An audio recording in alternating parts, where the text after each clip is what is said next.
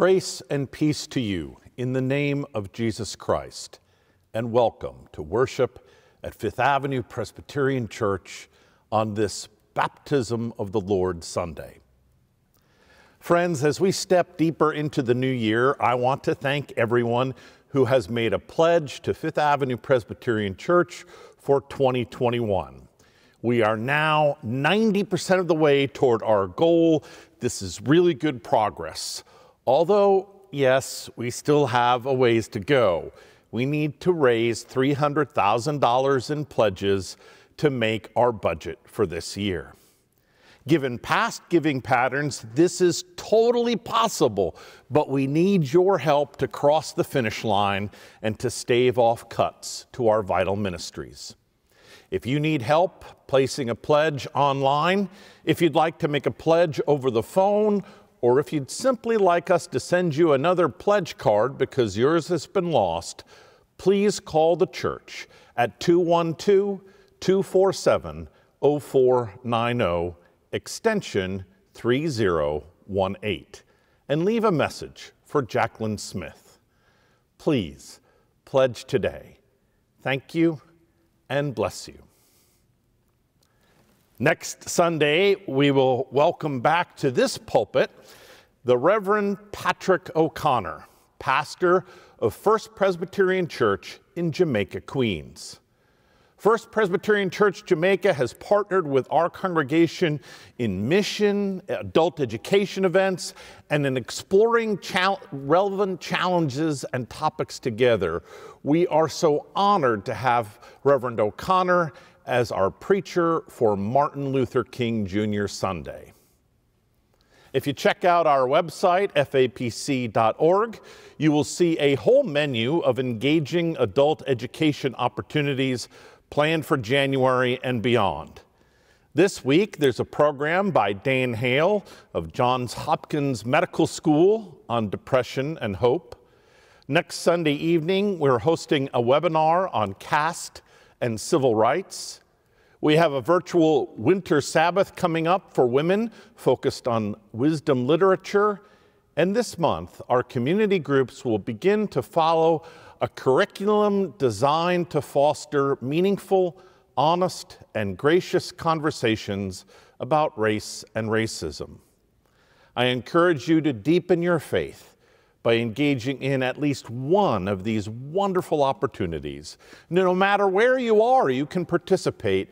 Register online today. Okay, friends, let's breathe deep, calm our minds, center our hearts. With diverse friends near and far, familiar and unknown, let's lean into the beauty of worship Let's lend our voices to prayer and song. Let's support each other, sharing Christ's peace with each other as we journey through this time. Please join me in the responsive call to worship as it appears on your screen. We are claimed by God who calls us children. We, the redeemed, have been called by name. Jesus joins us in the water. The, the rivers, shall, shall not overwhelm us, for God is our guide and protector. Let us worship the one who washes us in grace.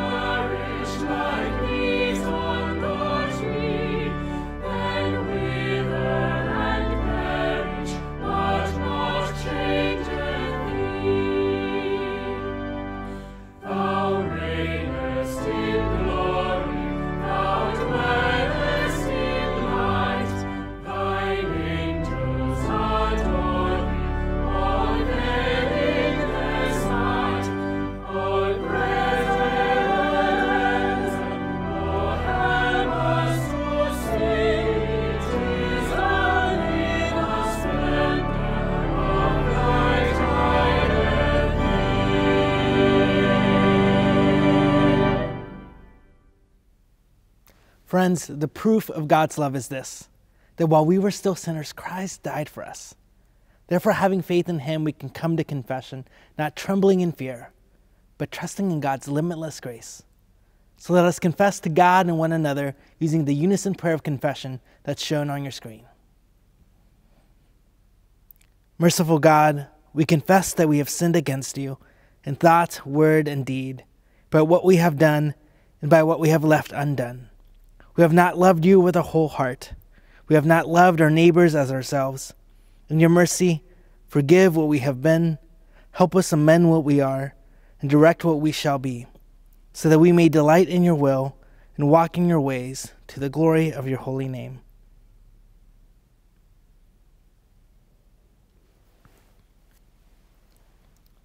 Hear the good news that Christ on the cross and in his body has taken on your sin and your shame, so that you might be dead to sin, but alive to all that is good. In the name of Jesus Christ, praise God, you are forgiven. You are deeply loved. Amen. Family, we are a forgiven and reconciled people. So let us continue to pass the peace of Christ to one another. May the peace of Christ be with you and also with you. The peace of Christ be with you. And also with you. The peace of Christ be with you and also with you. I will arise and go to Jesus. He will embrace me in his arms, in the arms of my dear Savior. Oh,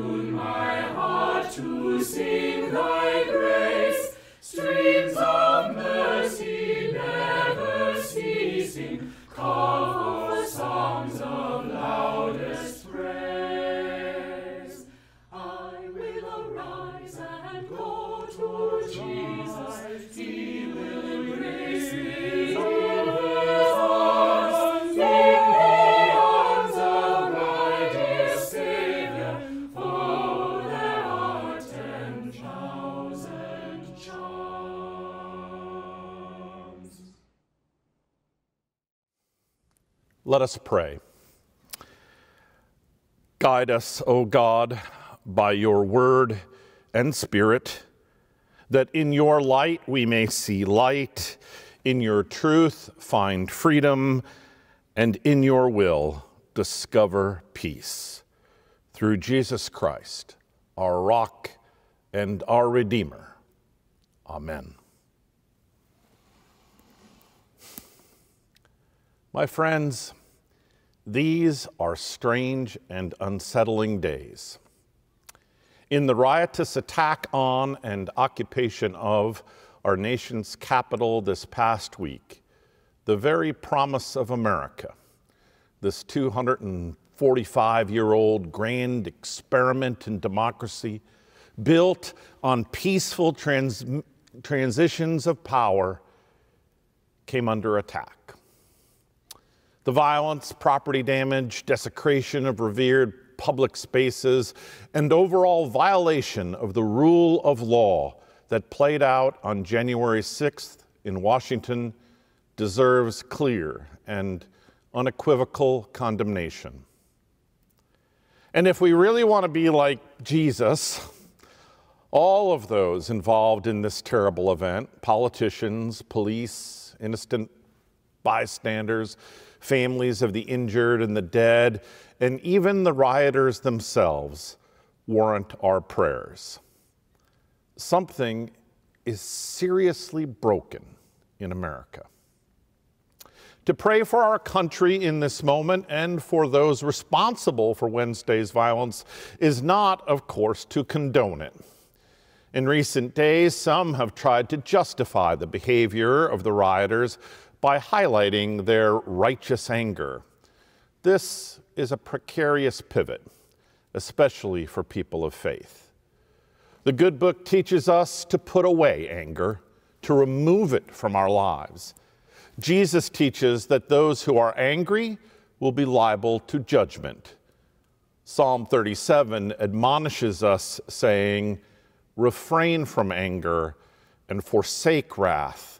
Do not fret, it leads only to evil. Our faith is clear. Violence, steeped in anger, stoked by lies, is sinful. Its fruits are evil.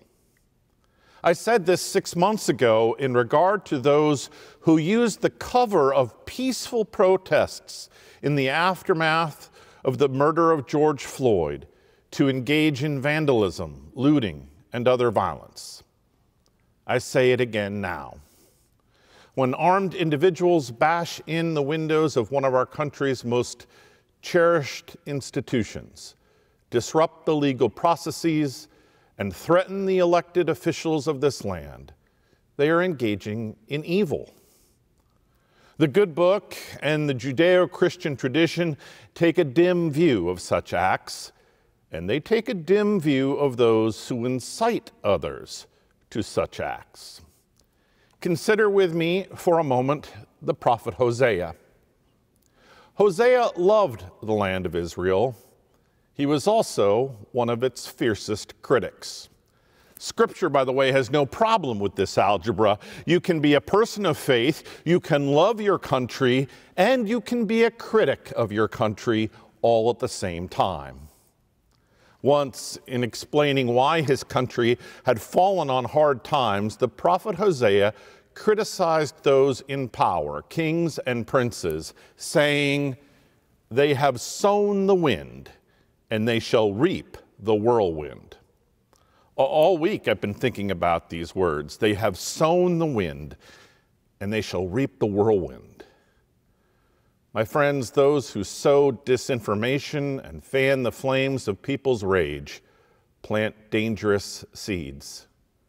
Our outgoing president bears responsibility for the events of the past week. He is not alone.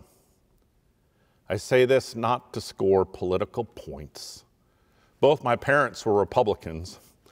Over the course of my political life, I have voted for candidates from both parties and a number of independents, too. I say all this out of deep love for this country and its people. Truth matters.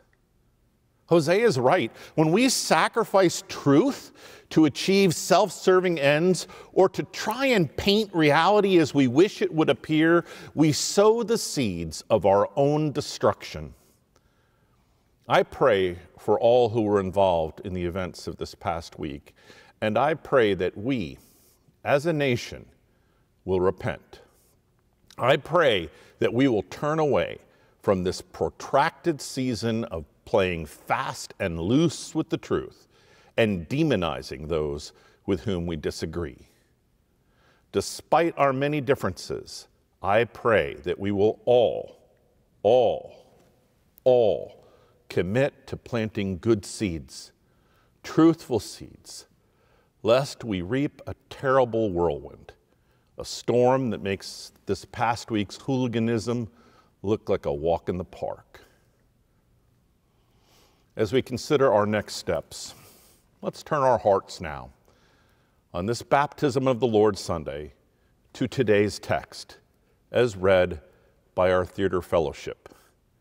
Providentially, they are about to tell us the story of another biblical prophet like Hosea who challenged people to repent and bear good fruit.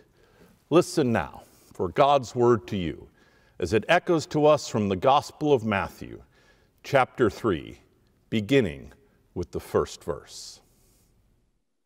In those days, John the Baptist appeared in the wilderness of Judea, proclaiming, Repent, for the kingdom of heaven has come near. This is the one of whom the prophet Isaiah spoke when he said, The voice of one crying out in the wilderness, Prepare the way of the Lord, make his path straight. Now John wore clothing of camel's hair with a leather belt around his waist, and his food was locusts and wild honey. Then the people of Jerusalem and all Judea were going out to him, and all the region along the Jordan, and they were baptized by him in the river Jordan, confessing their sins.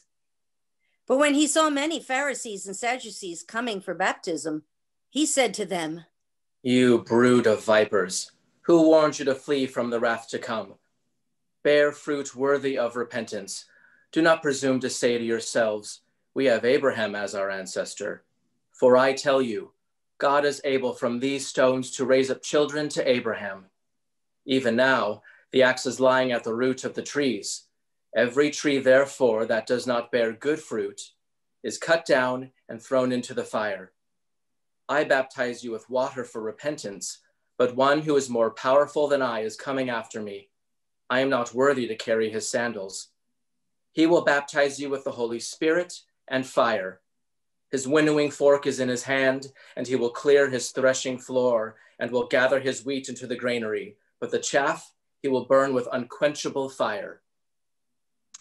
Then Jesus came from Galilee to John at the Jordan to be baptized by him. John would have prevented him, saying, I need to be baptized by you, and do you come to me? But Jesus answered him, Let it be so now for it is proper for us in this way to fulfill his righteousness. Then John consented. And when Jesus had been baptized, just as he came up from the water, suddenly the heavens were opened to him, and he saw the Spirit of God descending like a dove and alighting on him. And a voice from heaven said, This is my Son, the Beloved, in whom I am well pleased. This is the word of God for you, the people of God. Thanks, Thanks be, to, God. to God. Today's text describes a classic tent revival. On the bank of a river, a prophetic figure stands, cataloging society's woes and clamoring for people to repent. As we watch, one by one, contrite sinners step forward, entrusting themselves to calloused fingers which pinch their nostrils shut as they are plunged, every bit of them, beneath the moving waters. It's a straightforward, modest ceremony, nothing more than a bath, really, when you think about it. And, and yet, something about this basic ritual beckons to people, pulling them from busy lives to make a trip down to the Jordan. What was it, do you think, that compelled all those folk to seek John to go down to the river to pray? My wise friend, the Reverend Tom Are Jr., describes John the Baptist as a first century smoke alarm. His, his preaching shook people out of complacent slumbers and got them moving. Eh, they headed down to the river because, because they wanted new direction. They, they wanted to turn and face reality in a new way. They wanted John's simple but powerful ritual John took something that our, our bodies know so well, that just bathed, tingling, freshly toweled off sensation, and, and replicated it for people's spirits. Dunk, splash, sputter, and from the muddy flow, drenched converts emerged with scoured souls. I picture the scene down by the river. Despite the preachers focus on sin as a joyful time. There's something heartwarming about people embracing a new path, a new possibility, new morality, and being embraced in that by God. There, there's joy in the air until, until John spies a group of local religious leaders approaching his revival, detecting a whiff of hypocrisy in the air after all. These folk weren't out in the streets challenging people to change their ways. John launches into one of the good book's most famous invectives You brood of vipers. Don't you dare approach this water without repenting. Watch your step because all your education and all your social status will not protect you here. Repent you self satisfied elitists. God wants results. God wants good fruit. Trees that do not bear good fruit will get the axe. John the Baptist draws a protective circle around his ritual wash. These waters, he asserts, have meaning this sign has consequences for people. To be doused is to be cleansed of sin, to, and to honor your freshly laundered status, you must embrace an ethical path. In the movie, Oh Brother, Where Art Thou? Three prison, prison escapees flee the law along the back roads of Mississippi during the Great Depression. At one point in their journey, these fugitives come upon a congregation gathered at a wide bend in the river. They've stumbled on a baptismal ceremony. Hearing the earnest hymn singing, holding tight to the promise of redemption, one of the convicts, Delmar, splashes his way out to the preacher and is baptized. Salvation is mine, he shouts. And then he declares that his days of robbing Piggly Wiggly grocery stores are over. John would have approved. Baptism is about repentance, it's about bearing good fruit. But even as John dangles a metaphorical axe over those who would betray the ethics of his watery ritual, someone else walks down to the river.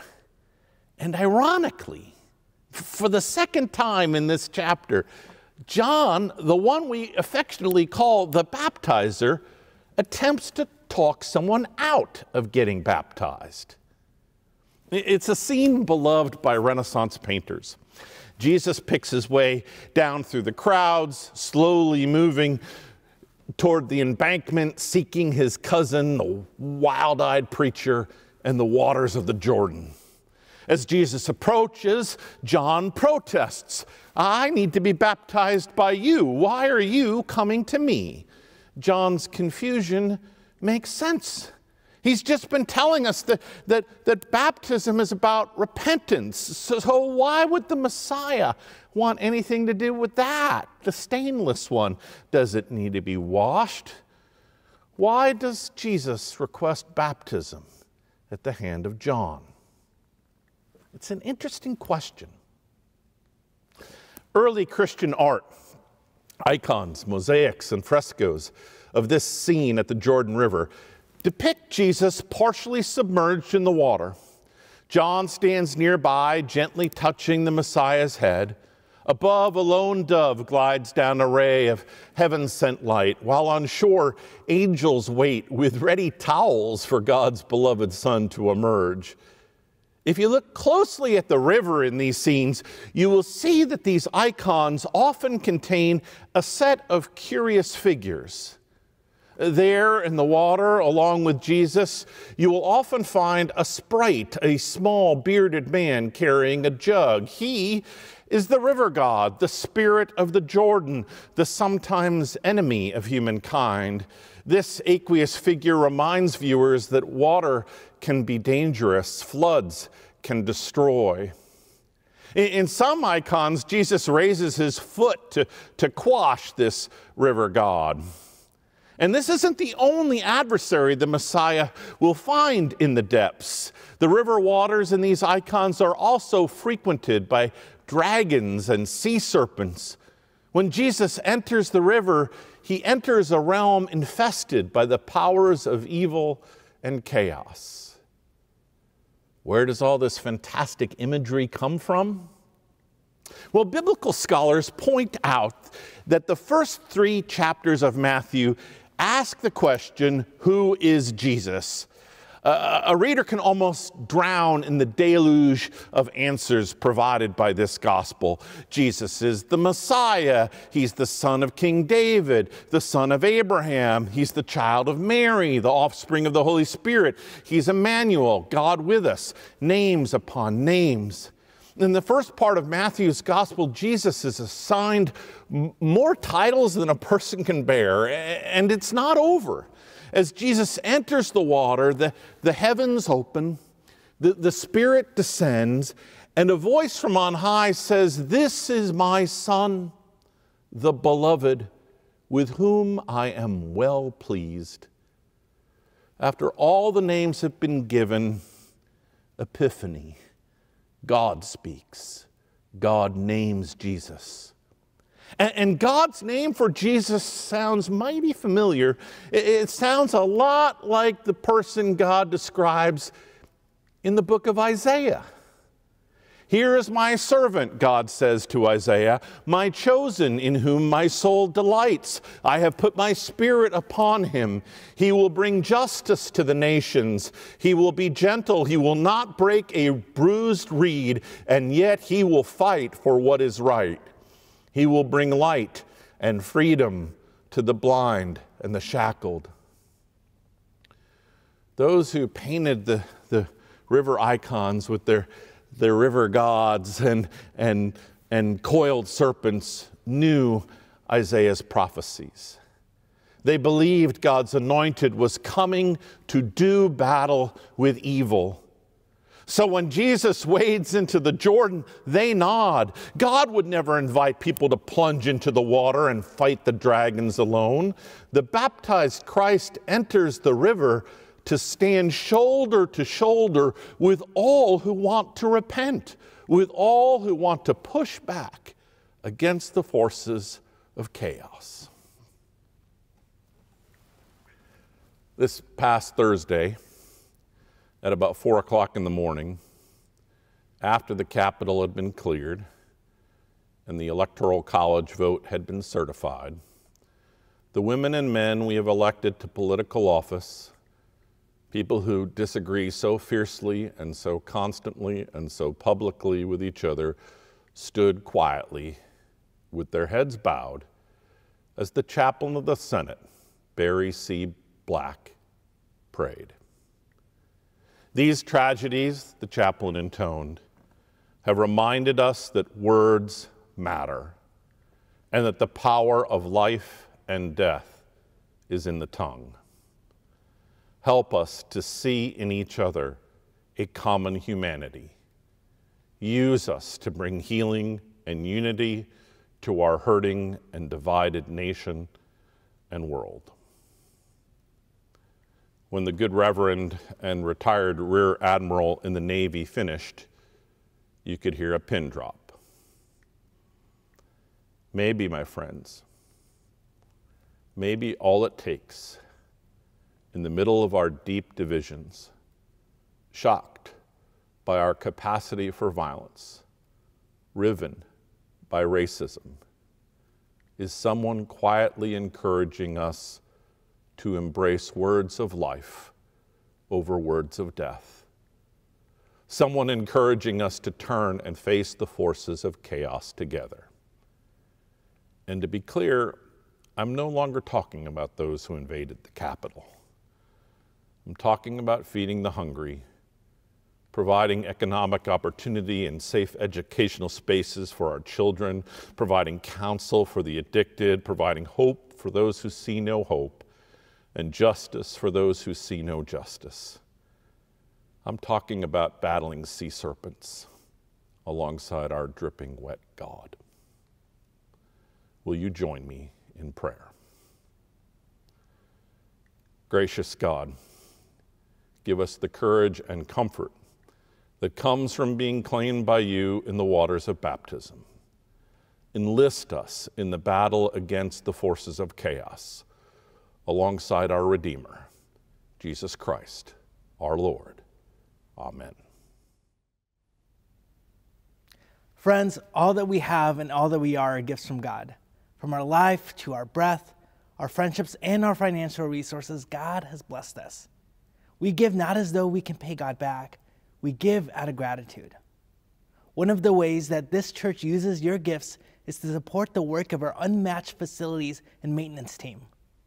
Joining us now is some of this team.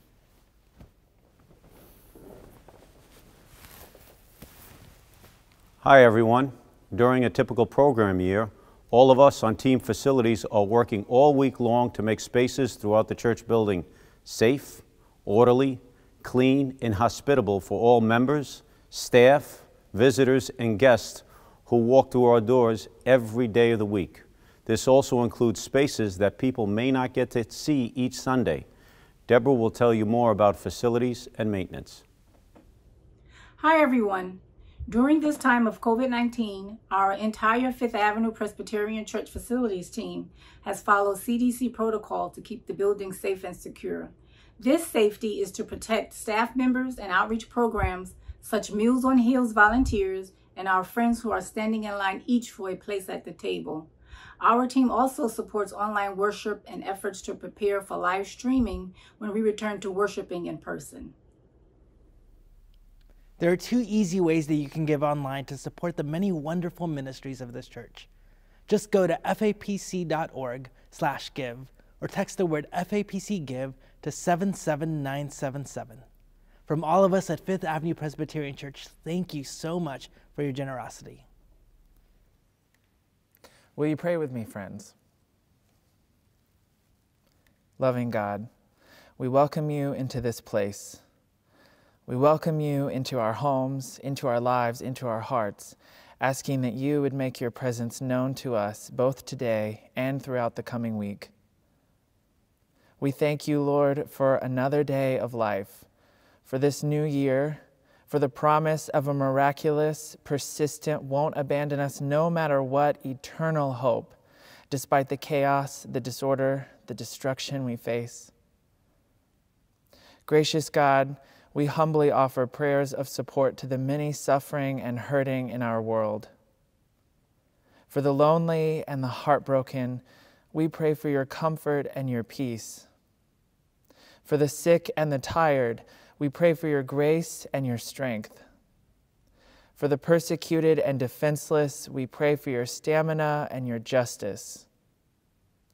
For the confused and the disoriented, we pray for your wisdom and guidance. Mysterious Creator, we're standing on the brink of a full year that has been emotionally, physically, financially, spiritually demanding. Every day, the news, the notifications, the tweets, moments of anxiety around politics and pandemics so thick, so intense, it's hard to breathe. There are moments, dear Lord, when many of us feel as if we're left with nothing. No more patience, no more energy, no more fight, no more hope, and even sometimes no more love. And God, we need you to sustain us, to revive us, to hold us, to reorient us, to call us to your marvelous service in love of neighbor and in bringing about your kingdom, which knows no sickness, no suffering, no delusion, no injustice, no end. Patient God, in this troubling time of political division, uncertainty, amid the shouts, the name calling, the retorts, the blaming, we ask that you would teach us to listen Teach us to listen to those far from us, the whisper of the hopeless, the plea of the forgotten, the cry of the anguished. Teach us to listen, O oh God, to ourselves. Help us to be less afraid to trust the voice inside. Teach us to listen, Holy Spirit, for your voice in busyness and in boredom, in certainty and doubt, in noise and in silence. Teach us, O Lord, to listen, to hear, to live the words that Christ Himself taught us when He prayed Our Father, who art in heaven, hallowed be thy name. Thy kingdom come, thy will be done on earth as it is in heaven. Give us this day our daily bread, and forgive us our debts as we forgive our debtors. And lead us not into temptation, but deliver us from evil. For thine is the kingdom and the power and the glory forever. Amen.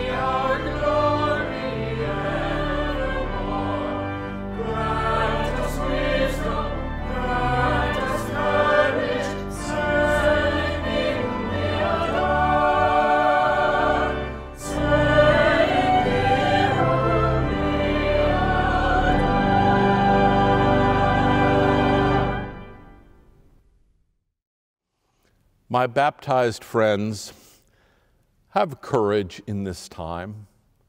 Hold fast to what is good.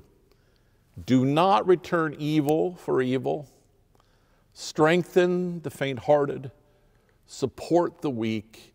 Help the suffering. Honor all people. Love and serve the Lord. Amen.